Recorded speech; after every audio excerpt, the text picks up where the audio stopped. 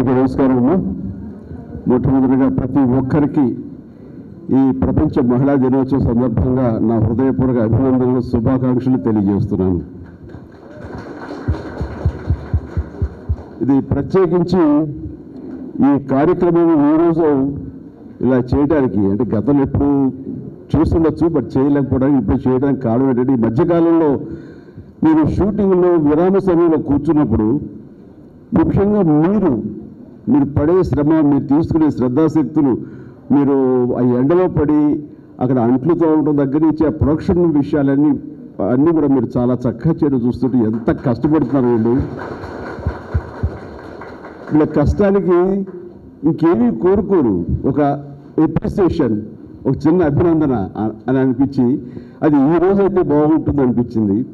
ఆ విషయాన్ని సురేఖ చెప్పగానే ఆ రోజు అయితే కనుక వాళ్ళందరికీ మన ఇంటి ఆడపడుచులాగా వాళ్ళు చక్కగా మంచి చీరలు అయిపోయి మరి నోటు నోరు తీపి చేద్దామని అనేసరికి నాకు చాలా సంతోషం ఇస్తుంది అలాగే చేద్దామని ఈ రోజున ఈ కార్యక్రమం అలా ఏర్పాటు చేయడం జరిగింది ఇది.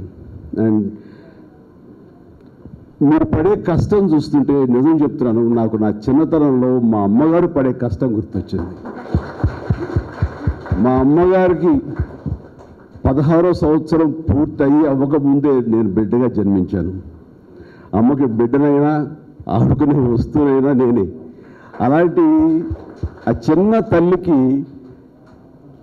నేను అబ్జర్వ్ చేస్తుంటే తను ఉదయం లేచిన దగ్గర నుంచి ఇల్లు ఊడ్చుకోవడం దగ్గర నుంచి బయట వెళ్ళి కళ్ళాపు చల్లి ముగ్గేసుకోవటం లోపలికి వచ్చి రాత్రి మిగిలిపోయిన వా- వస్తువులు పాత్రలన్నీ క్లీన్ చేసుకోవడం దగ్గర నుంచి మళ్ళీ నాన్నగారికి బ్రేక్ఫాస్ట్ చేయడం దగ్గర నుంచి నాన్న వెళ్ళిపోయిన తర్వాత బట్టలు ఉత్తుకోవడం దగ్గర నుంచి మళ్ళీ మధ్యాహ్నం లంచ్కి సంబంధించి దంచుకోవటాలో రుబ్బుకోవటాలో నూరుకోవటాలో ఇలాంటివన్నీ కూడా చేసి ఆ తర్వాత బావిలో నీళ్ళు తోడుకుని తనే తీసుకోవాలి ఎందుకంటే ఆ- ఆ- రోజుల్లో మాకున్న ఆర్థిక స్తోమత ప్రకారం మేమేమి సహాయకుల్ని అసిస్టెంట్స్ పెట్టి చేసే ప- పరిస్థితి కాదు మాది.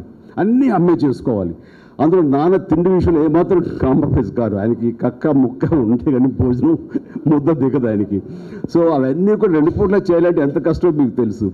అండ్ రాత్రి పడుకునే వరకు అమ్మ పడే శ్రమ అంతా ఇంత కదా. ఆ తర్వాత అమ్మ అలిసిపోయి పడుకుంటే ఆ చిన్న బిడ్డగా వెళ్ళి అమ్మ కాళ్ళు నొక్కుతుంటే నాకు తెలియని బాధ. తెలియనిది. అమ్మ కూడా వద్దు నాన్న అంటుండేది. కానీ ఆ తల్లికి ఆ సేవ చేయటంలో అమ్మ పడే కష్టం నాకు చిన్నప్పటి నుంచి నాకు ఉండిపోయింది. అందుకని నేను స్త్రీ పక్షపాతిని అయిపోయినేమో ఫెమినిస్ట్ని అయిపోయానేమో అని అనిపిస్తుంది. అదే ప్రధానమైన కారణం నాకు. సో అదే తరహాలో ఎవరైనా సరే కష్టపడుతుంటే నాకు అమ్మలే గుర్తొస్తారు అందులో మా అమ్మే గుర్తుకొస్తుంది. అది ప్రధానమైన కారణం. ఈ రోజున ఈ మహిళా దినోత్సవం రోజున మిమ్మల్ని అందరినీ రకంగా చిన్న చిరు సత్కారం చేసుకోవడం కారణం. అదే రకంగా నాకు ఆ స్త్రీ పక్షపాతిగా ఉండటానికి మరో కారణం సురేఖ. సురేఖ అల్లువారి ఇంట్లో అల్లువారి గారాల పట్టి ఆఖరి బిడ్డ. కానీ మా ఇంటికి వచ్చేసరికి తనే పెద్ద కోడలు. ఇంటి పెద్ద బాధ్యతతో తీసుకోవాల్సినటువంటి పరిస్థితి ఉంది. అండ్ ఆ సమయంలో మా చెల్లెళ్ళు కానివ్వండి మా తమ్ముళ్ళు కానివ్వండి అమ్మ నాన్న కానివ్వండి అన్నీ తనే చూసుకునేది. మెడ్రాస్లో అందరూ షిఫ్ట్ అయిపోయిన తర్వాత. అండ్ వాళ్ళు ఎవరెవరికి ఏం కావాలి ఏంటి ఎవరికి ఏ సమయంలో ఏమి అందివ్వాలి ఏం చేయాలి అనే దాని మీద పూర్తి బాధ్యత తీసుకున్న సురేఖకి క్షణం తీరుకుండేది కాదు. నేనంటారా పూర్తి నా దృష్టి నేను నా సినిమాల మీద అంత ఫోకస్ చేసి పెట్టడానికి ప్రధానమైన కారణం నేను సక్సెస్ఫుల్ హీరోగా ఉండటానికి ప్రధానమైన కారణం సురేఖ దానికి కారణం ఏంటంటే నేను ఏది పట్టించుకోనక్కల నా తమ్ముడు ఎలా చూసుకున్నావు నా తమ్ముడికి ఏమి ఇస్తున్నావు పండగ వస్తే ఏం బట్టలు కొంటున్నావు నా చెల్లెలకి ఏ నగలు కొంటున్నావు నా చెల్లెలు ఎలా చూసుకున్నావు ఏ చెల్లెలు కొంటున్నావు అమ్మకి ఇవన్నీ నేను అవసరం లేదు. లేకపోతే నాకు పెద్ద బాధ్యత కదా. అండ్ అదేం లేకుండా హండ్రెడ్ పర్సెంట్ నేను నా సినిమాల మీద దృష్టి పెట్టడానికి ఏమాత్రం నేను ఆలోచించకుండా నా కుటుంబం పట్ల ఉండటానికి ప్రధానమైన కారణం సురేఖ కాబట్టి ఈ మహిళా దినోత్సవం రోజున సురేఖను కూడా మనస్ఫూర్తిగా ఎప్పుడు పబ్లిక్లో నేను అభినందించలేదు. ఆ రకంగా సురేఖను అభినందిస్తున్నాను. థ్యాంక్ యూ సో మచ్ ఇంటికి వెళ్ళిన తర్వాత నాకు ఎలా ఉంటుందో తెలియదు రియాక్షన్ అది పాజిటివ్గా ఉంటుందా? ఎమోషన్ అవుతుందా? నన్ను చాలా ఎంబారెస్ చేశారు. అందరి ముందు అంటుందో తెలియదు గాలికి వదిలిస్తారు అలాగే నా చెల్లెలు వీళ్ళందరూ కూడా అంటే ఈ మధ్య చిన్న ఇన్సిడెంట్ జరిగింది. సురేఖ తన గెస్చర్ ఎలా ఉంటుంది అంటానికి కోకాపేటలో నాకు ఒక ఏదో యాకర్స్ ఉన్నాయి. బాగానే ఉన్నాయి. ఉండిన తర్వాత ఎప్పుడో ఏదో దాని ఏమంటారు అక్కడ ఏదో ఒక ఇల్లు కట్టుకుని లేకపోతే ఫామ్ హౌస్ కట్టుకుని ఉందాము పొలం పనులు చేసుకుంటూ ఉందాం అనుకున్న భూమి రోజునది ఫ్యూచర్ స్మార్ట్ సిటీ అయిపోయే రోజులు. అలా వచ్చేసింది. ఒక్కొక్క ఎకరం అనుకోకుండా కూడా కొన్ని కోట్లు పెరిగిపోయింది. అని నా చెల్లెలకి నేను కూర్చున్నమ్మా కూర్చో నా చెల్లెలకి నేను అంతకుముందు ఎప్పుడు చేశాను వాళ్ళకి ఇల్లు కట్టించి పెట్టాను వాళ్ళ బిడ్డల భవిష్యత్తు నేను చూసి పెట్టాను వాళ్ళందరూ ఇప్పుడు స్థాయికి ఎదిగారు. నేను వాళ్ళకి ఏమీ చూసుకోవాల్సిన అవసరం లేకుండా అంత చక్కగా వాళ్ళందరూ ఉన్నారు. కానీ తన అంది మనం అనుకోకుండా ఇంత భూమి అది పెరిగింది కాబట్టి ఎంతో కొంత మళ్ళీ చెల్లెలకు కూడా మనం ఇస్తే బాగుంటుంది కదా అంటే ఏ మహిళ అయినా సరే నేను తప్పు పట్టడం కాదు కానీ తనకి బిడ్డలు ఉన్నారు. అంత ఎదిగిన స్థలం అంత పెరిగిన స్థలం ఉంటే తనకి తన బిడ్డలకి తన భర్తకి ఉంటుంది కానీ ఇంత చేసినా మళ్ళీ ఆడపడుచులకు మళ్ళీ ఇవ్వడం ఏంటి అని అనుకుని ఉండొచ్చు అనుకోవచ్చు. నేను తప్పు పడ్డం కాదు. అలా కాకుండా ఇస్తే బాగుంటుంది సలహా బాగుంది కదా కరెక్టే. రేపు పొద్దున వాళ్ళ పిల్లలు వాళ్ళ వాళ్ళ జీవితంలో చూసుకుంటే వీళ్ళు హ్యాపీగా ఉండాలంటే కనుక ఆ భూమి ఉంటే ఎంత ఆసరాగా ఉంటుంది. మంచి సలహా ఇచ్చేవారు అక్క ఓకే. అని అన్నాను అయిపోయింది. నేను పనులు పడి మర్చిపోయాను. మళ్ళీ ఆగస్టు ట్వంటీ సెకండ్ మొన్న రక్షాబంధన్ అదే రోజు నా పుట్టినరోజు. వచ్చిన రోజున కొద్ది రోజుల ముందు గుర్తు చేసి ఇది త్వరగా చేయండి లేకపోతే మళ్ళీ ఆ రోజున ఇవ్వకపోతే ఇది అందం ఉండదు. చేయాలనుకో చేయండి ఆ రెండు ఎకరాలు అలా ఇవ్వండి. అని అని ఇంటికి అమ్మవారు వచ్చేలా చూసి గిఫ్ట్ డీట్ అయ్యేలా చేసి అన్ని రకాలుగా ప్రయత్నం చేస్తున్నట్టే తన చిత్తశుద్ధిని మనస్ఫూర్తిగా మీ అందరి సమక్షంలో నేను చెప్పడానికి చాలా గర్విస్తున్నాను. ఆ రోజు మా చెల్లెలకి డాక్యుమెంట్తో పాటు వాళ్ళు రక్షాబంధన్ కట్టినప్పుడు దానికి గిఫ్ట్ ఇచ్చాను. అది వాళ్ళే షాక్ తిన్నారు. సో అలాగా ఒక ఇంటి ఆడపడుచు ఒక ఇంటి బిడ్డ మొత్తం కుటుంబం సక్సెస్ఫుల్గా ఉండాలంటే తన ప్రధానమైన బాధ్యత వహిస్తుంది. అందుకని మహిళలు వాళ్ళ పాత్రలు కానీ వాళ్ళ బాధ్యతలు కానీ కుటుంబం పట్ల వాళ్ళ ఇది కానీ అత్తగారి కుటుంబం కానివ్వండి నా అమ్మగారి కుటుంబం కానివ్వండి ఏదైనా సరే ఆ రకంగా పూర్తి బాధ్యతలు తీసుకుని మీరు ఇంత కష్టపడుతుంటే కనుక నిజంగా చెప్తున్నాను మీ అందరికీ చేతులెత్తి మరొకసారి నమస్కరిస్తున్నాను. ఈ రోజున మహిళలు ఒక ఇంటి పట్టే ఉండి పాత్రలు కడుక్కోవడం అని నేను ఇంటి బాధ్యత ఇలాగే మాట్లాడుతాను అనుకోకుండా అలా ఉండాలని కాదు. వాళ్ళు దీన్ని మించి ఎంతో స్థాయికి ఎదుగుతున్నారు గగనానికి ఎదుగుతున్నారు. చెప్పాలంటే ర్యాకెట్లు ఎక్కడెక్కడికో ఎదుగు చంద్రమండలాలకు ఎదుగుతున్నారు. అండ్ స్పోర్ట్స్లో మనకు ఒలింపిక్ మెడల్స్ కూడా తీసుకొచ్చే స్థాయికి ఎదుగుతున్నారు. అండ్ వాళ్ళు చేసే ఇవి అంత మిలిటరీలో కూడాను ఎయిర్ ఫోర్స్లో కూడా వాళ్ళు యుద్ధ విమానాలు నడిపే స్థాయికి వెళ్తున్నారు. అది మనందరం గర్వించదగ్గ గొప్ప విషయం. ఆ స్థాయికి స్త్రీలు వెళ్ళాలి. స్త్రీ శక్తి అంతవరకు వ్యాచి వ్యాపించాలి. దానికి మనందరం కలిసి ఎంపవర్ చేయాలి. అలా చేయాలంటే ముందు మన ఇంట్లో ఉన్న మన స్త్రీల్ని మనం ఎంపవర్ చేయాలి అమ్మల్ని ఎంపవర్ చేయాలి చెల్లెల్ని ఎంపవర్ చేయాలి మన బిడ్డల్ని కూతుర్ని ఎంపవర్ చేయాలి. వాళ్ళకి ఆ శక్తి వాళ్ళకి ఇచ్చేలాగా మన ప్ర మన యొక్క భావజాలం ఉండాలి. అలా ప్రతి ఒక్కళ్ళు అనుకుంటే నిజంగా ఈ సమాజంలో స్త్రీ శక్తి అపారమైన స్థాయికి వెళ్తుంది. అంత అది ఎత్తు స్థాయికి వెళ్తుంది. అది ప్రపంచం అంతా గర్వించే స్థాయిలో స్త్రీ శక్తి ఉండాలి. కాబట్టి ఈ సందర్భంగా మరొకసారి నా ఈ ఫ్యామిలీ నా ఈ కుటుంబ సభ్యులు ఒక కళాముతలి బిడ్డగా నా ఈ తల్లులందరికీ కూడా నేను మనస్ఫూర్తిగా నేను అభినందనలు తెలియజేస్తున్నాను. ఇతోధికంగా మీకు చిన్న ఏదో గెస్టర్ ఇచ్చామమ్మా. కాబట్టి దీంట్లో మీ ఆశీస్సులు ఉండాలి మీకు. మీకు అన్ని విధాలా బాగా జరిగి ఉండాలని కోరుకుంటున్నాను.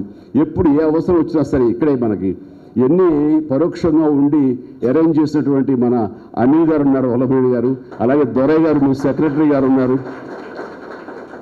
వారందరూ ఇవన్నీ పర్యవేక్షించి నాకు వచ్చారు. అండ్ వాళ్ళందరూ స్టేజ్ మీద పిలవడానికి ఇది మహిళలకు సంబంధించింది అసలు నేను కూడా చాలా హార్డ్గా ఉన్నాను ఇక్కడ. కానీ వారందరూ తెర ఉండి ఇవన్నీ నడిపించేందుకు ప్రత్యేకించి వల్లభనేని గారికి దొరయ్య గారికి మిగతా తదితరులు అందరికీ నమస్కారం. ఇక్కడ ప్రత్యేకించి ఇంకో మహిళను నేను ప్రస్తావించాలి. ఆవిడ విజయలక్ష్మి గారు. మన మ్యూజిక్ యూనియన్ ప్రెసిడెంట్ ఆవిడ ఎన్నో ఏళ్ళ బట్టి యునానిమస్గా ఆవిడ ఎందుకు కదలలేకపోతుందో నాకు తెలియట్లేదు. ఎందుకంటే ఆవిడ ఆవిడ యొక్క స్థానం సుస్థిరం. ఏమో ఇరవై ఏళ్ళైంది మీరు ప్రెసిడెంట్గా? ఆ, అందులో మెంబర్గా. సో మీరు మీరు కూడా ఎన్ని అరేంజ్మెంట్లో చాలా థర్డ్. ఇంకా అలా ఉండిపోండి చెప్పండి. అండ్ తను ఆ రకంగా ఎన్ని అరేంజ్ చేయడం తను ఉపయోగపడింది మనకు దోహదపడినారు. అలాగే ఇక్కడ లలిత్ గారు ఆవిడ సెక్రటరీ మీరు మీరు ప్రెసిడెంట్ కదమ్మా ప్రెసిడెంట్ గారు మీరు కూడా సహాయపడ్డారని తెలిసింది.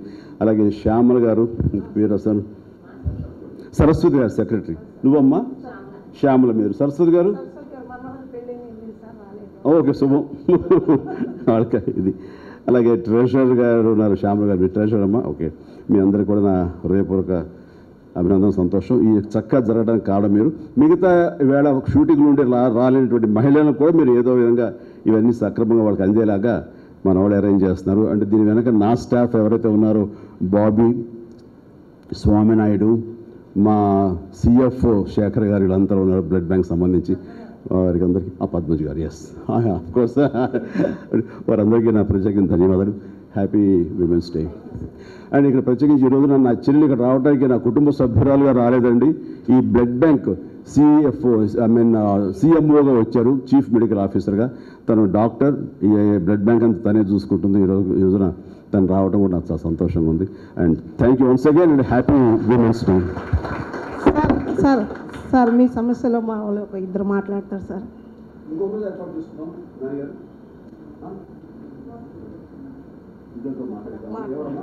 నీలిమా.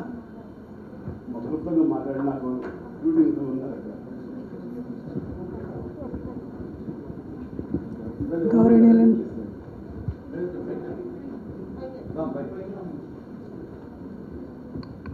గౌరవనీయులు. హలో?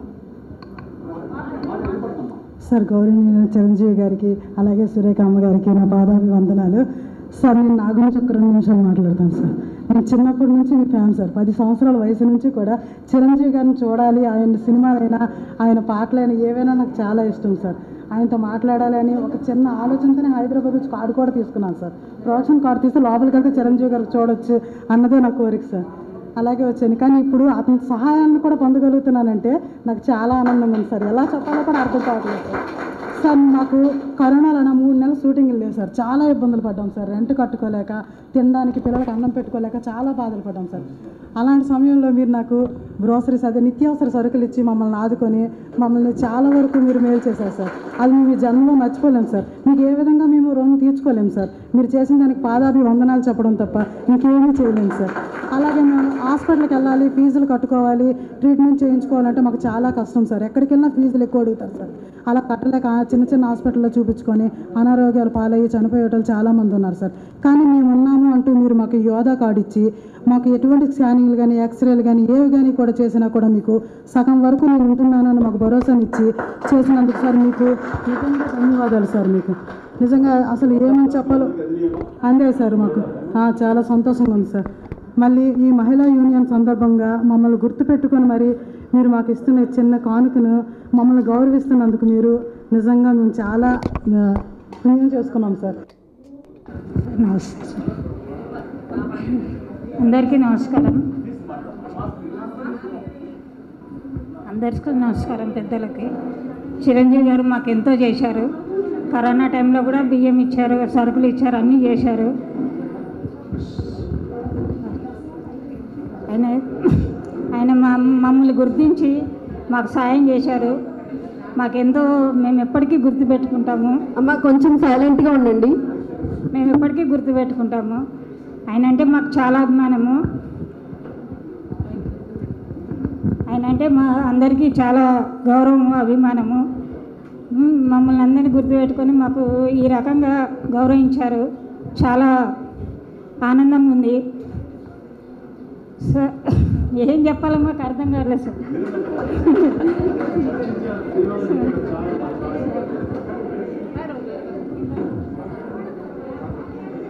థ్యాంక్ యూ నిజంగా వీళ్ళందరి గుండెల్లో నిలిచిపోయారు మా చిరంజీవి గారు. సో మీరు మాట్లాడుకోకూడదు. సార్ యా మీ ప్రెజెన్స్ మాకు wonderful gift on happy women's day ఒక చిన్న పాట పాడతాను. ఈ పాట అయ్యే వరకు మీరు లే లేవకూడదు. లేవనివ్వను. ఒక్కటి పల్లవి. मानव जाति मनुगण के